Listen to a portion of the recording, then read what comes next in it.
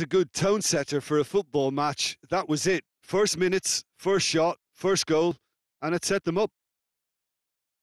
And that's where we have to end it. From me, Peter Drury, and my co commentator, Jim Beglin, a very good evening to you all.